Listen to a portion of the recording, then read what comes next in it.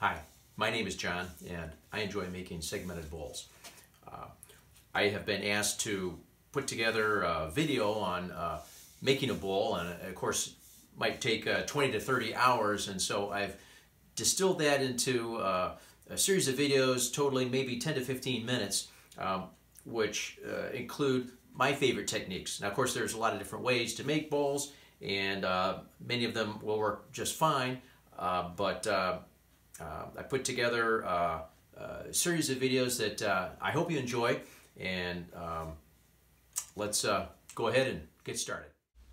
We start out with a plan to determine your ring height, width, and diameter, and then uh, you rip your boards.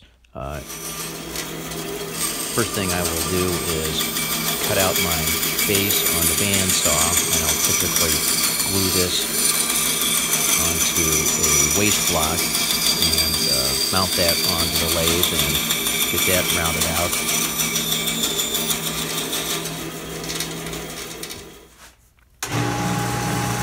On this bowl, I have a feature ring of uh, maple squares, so I take a bandsaw and uh, cut these maple segments. Uh, are uh, 12 segments to a ring, and the segments dimensions need to be very precise, so careful cutting is in order here.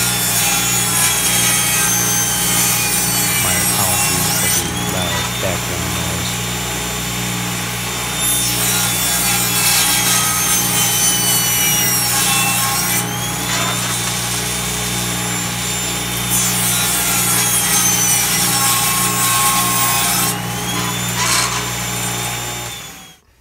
To make the walnut circles, I used a drill press to drill the holes. And of course, uh, the location was carefully measured and marked prior to drilling.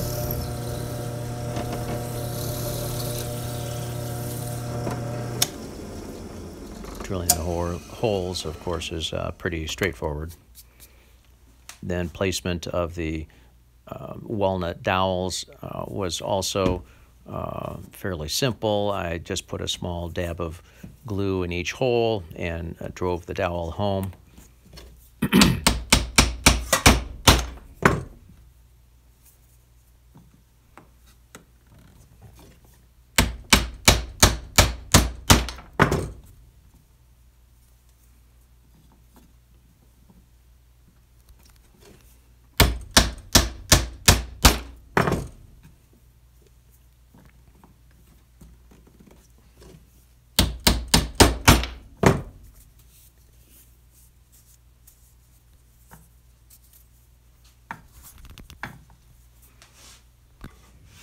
This bowl had several walnut rings, and I used the uh, sled to cut the segments, and then 12 segments with the ring. The, uh, the width of the segment was determined by the bowl contour as noted on the uh, original plan, and I used uh, the small measuring jig you see to the left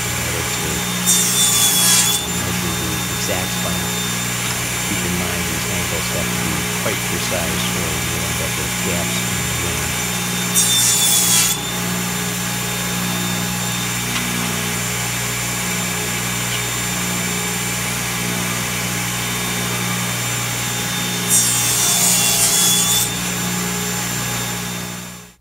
So after cutting those 12 segments, they are uh, placed in a circle just to make sure that uh, uh, it aligns perfectly with no gaps.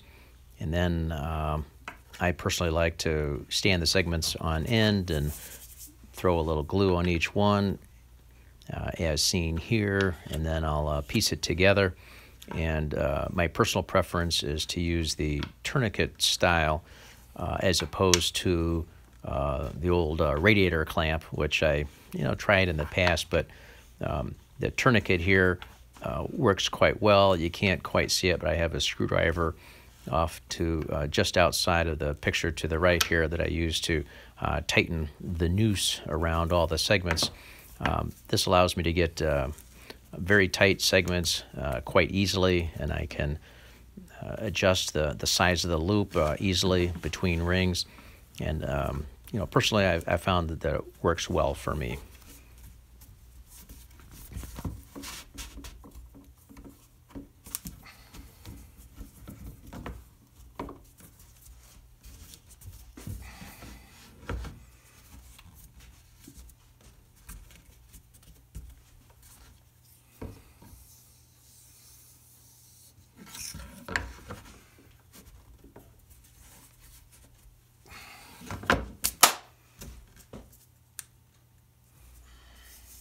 Give the ring a good half hour to dry, and then I will sand it flat on one side using a bead drum sander that I assembled. Um, it might take uh, 5, 10, 15 runs over the uh, sanding drum, but does a, a pretty good job as long as you start out with a relatively flat ring. I've been very happy with this. It, uh, it works well for me. I just don't have room in my shop for a standard drum sander, so this works for me. I then will uh, flatten the receiving edge. Uh, here I have the uh, base piece on the lathe, and uh, I like to use my bowl gouge to flatten the edge.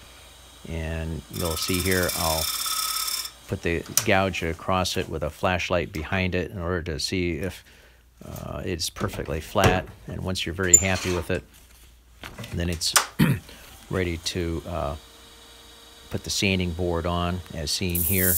Uh, really doesn't need more than uh, five or ten seconds with the, the board as long as you have it uh, nice and flat from your bowl gouge.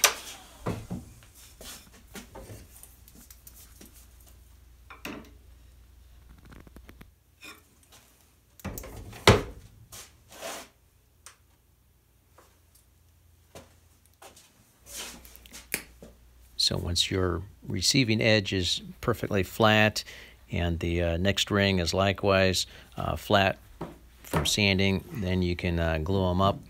I like to just put a bead around it, uh, spread it around, and then I have a uh, simple wood press that I assembled here.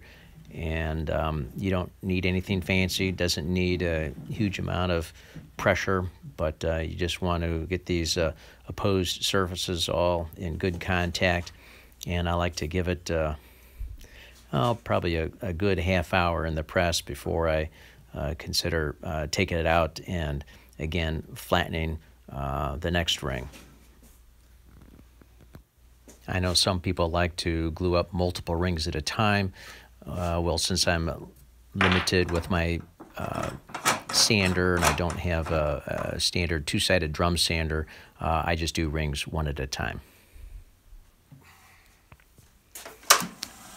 Next, uh, after each ring is glued on, um, uh, the piece is uh, placed back on the lathe and uh, I use a, either a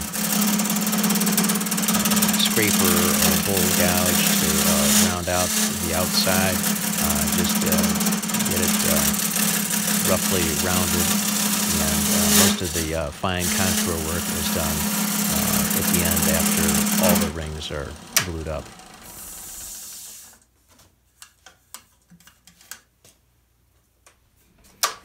And so each successive ring is dealt with the same way, uh, glued on, rounded out with a scraper or bowl gouge. Not seen here, the inside of the bowl is also uh, smoothed over. The, um, the depths of the bowl down at the base, you really want to get uh, smooth and sanded early on because uh, later on with the taller bowls, you're going to have more difficulty accessing it. And uh, I, I, do like to have the inside of my bowl uh, finished as well as the outside.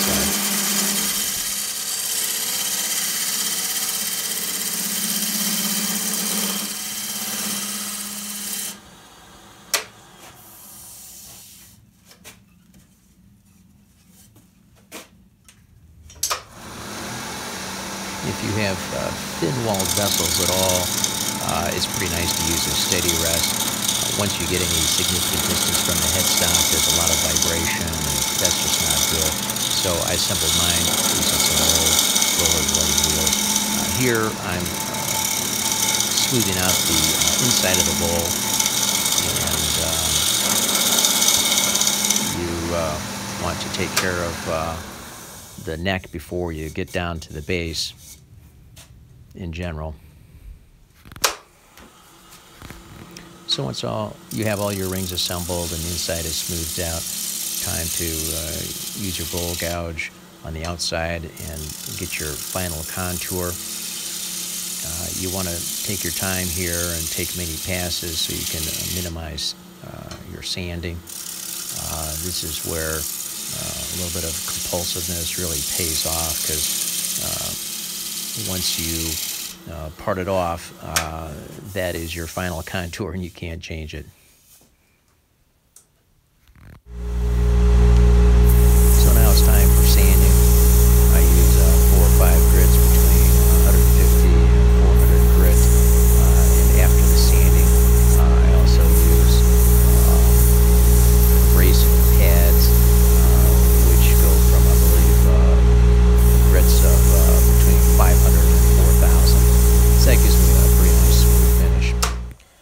In the next step, the finish is applied.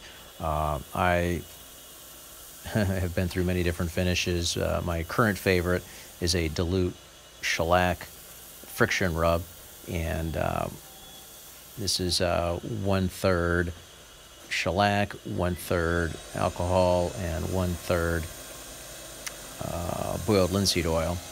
And um, you'll you'll see after application, I'll take a uh, fresh dry cloth and speed it up uh, as high as the lathe will go and basically uh, burn it off and it, it, gives a pretty nice finish. So now it's time to part it off.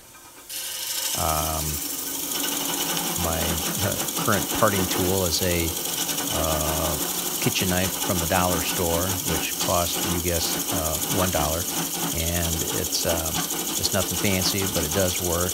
And um, uh, you'll see here in a moment that it'll pop right off. So as long as you can uh, grip the bowl with your right hand, uh, it's a pretty slick way to uh, remove it and just leaves a little uh, nubbin on the bottom.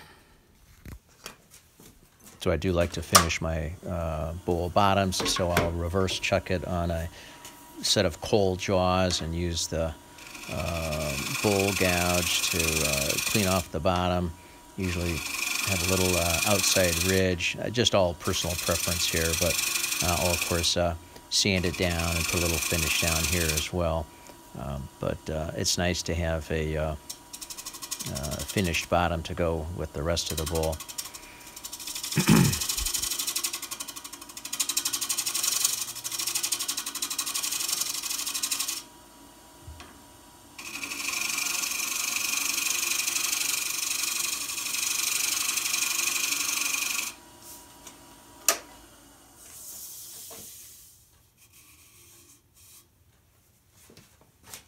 Okay, that wraps it up. Uh, our bowl is now done.